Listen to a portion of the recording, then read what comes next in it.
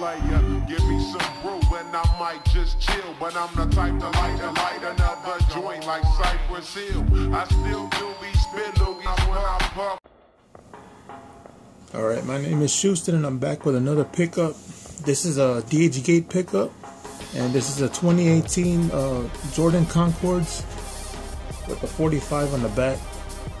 And I got these from a different seller. I'll leave their name down below. And this is probably the best of the cheapest quality is what I'll say. Because the shoe do, does have some flaws on them, but for the price you can't beat it. It's a a lot better than getting the $50 pair. This is maybe a step up from that. Because it's definitely not the best quality, but they're okay for the price. So this is the box it comes in. Let's look at the label there.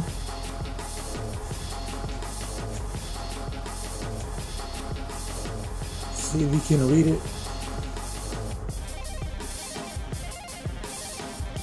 It's focusing in.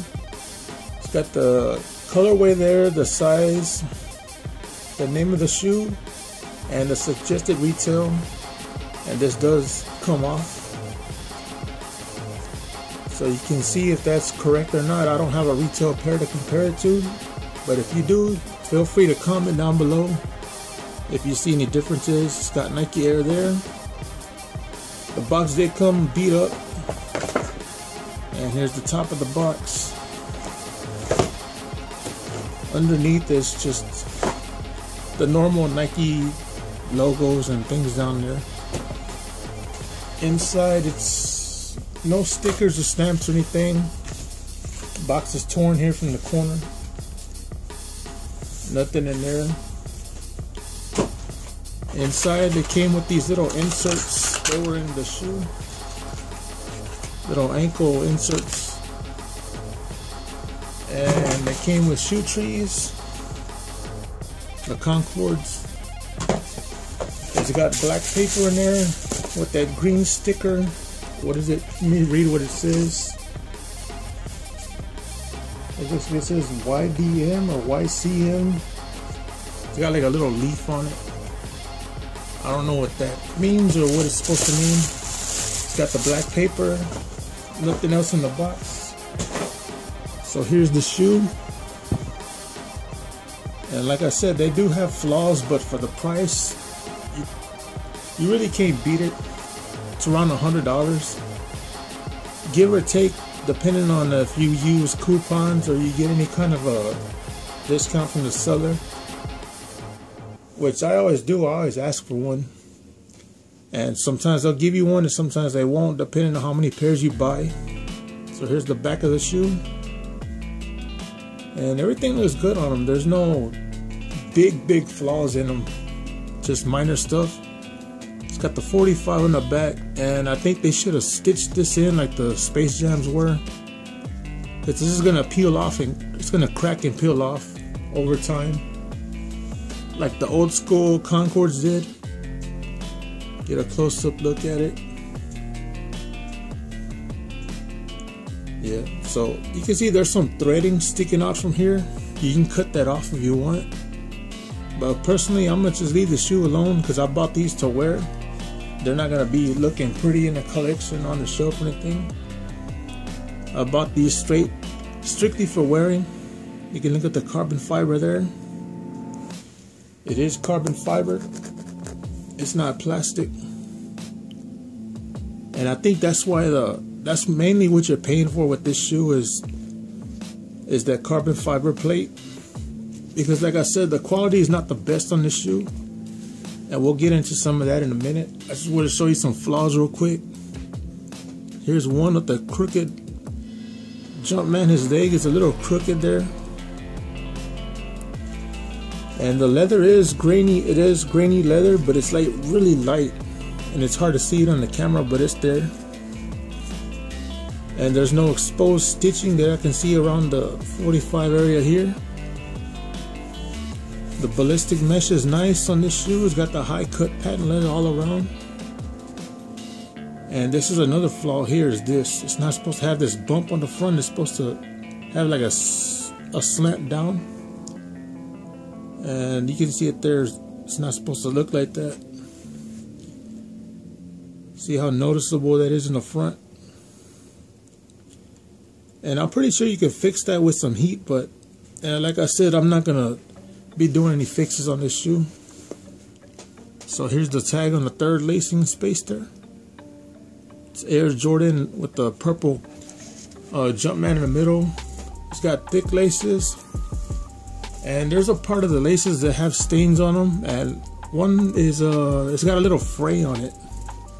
So that was another flaw with the shoe. Inside of the shoe, this is another flaw here. It doesn't have enough padding on the inside. It feels really thin. And I don't know if it's supposed to be like that because my authentic Concords and even my beater pair that I have here have uh, real thick padding. Let me get one to show you for my everyday pair that I wear. This is my old pair that I use every day. And you can see how thick the padding is in there. Let me get a light.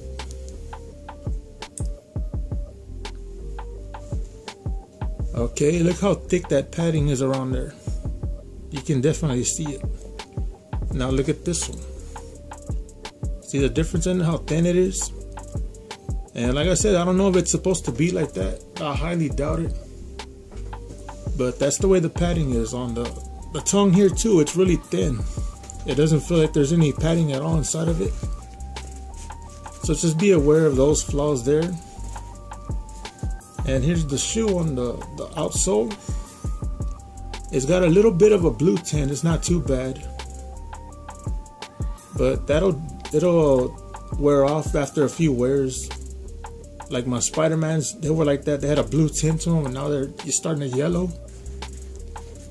So it comes off. It doesn't it's not permanent. Now we can get a look at the inside of the shoe here. I undid this, I unlaced this one a little bit so you can see the inside.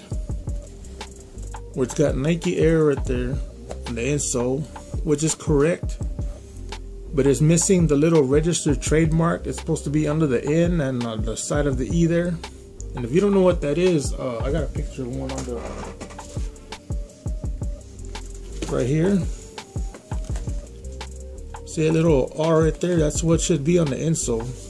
It should have one here and one there where that one is. So that's just another little flaw, but like I said, that should be there. and It's not not a deal breaker because that'll usually come off after a wear or two anyway. And that's pretty much all the flaws I see. I don't really see any more. You can see the bottom, the pods are lined up correctly. Here, here, and here, there's not anything too crazy looking. Traction pad looks, looks good on them. Midsoles look good. There's no crooked shoe or anything. Let me line them up uh, side by side along the back so you can see if there's anything wrong with them. Let me adjust the camera.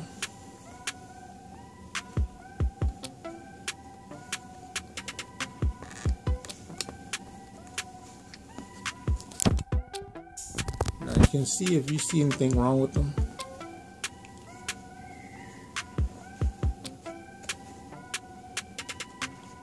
Like I said, everything lines up correctly. I think this one's a little bit off by maybe a centimeter or two. This one's right on there. And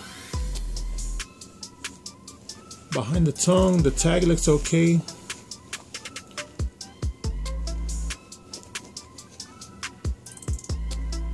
I mean, this there is not falling off or anything. It's sewn on there correctly. Uh, size tag in there looks okay. It's like way down up in there. Kind of hard to see. It's like right there.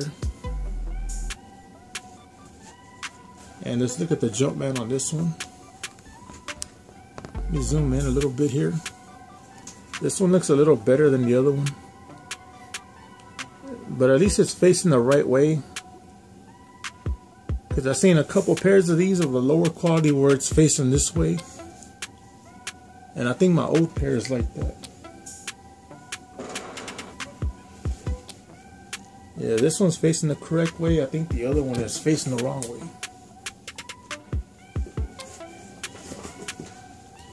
See, like that. Yeah, so that's one of the reasons why I don't really wear these anymore. I might have to change this to a 23. But yeah, this is going to be my new pair from now on.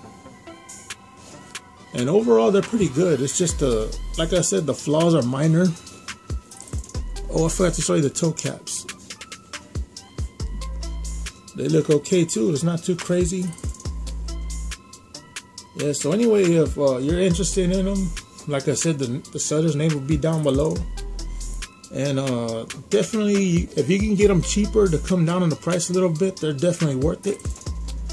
But uh, if not, you can always go with a higher quality or even uh, pay resale on the retail, which is something I don't like doing because I wouldn't pay $300 for these. anymore. I didn't even want to pay 220 when they dropped, but I tried to get them and I couldn't get them, so I went with these.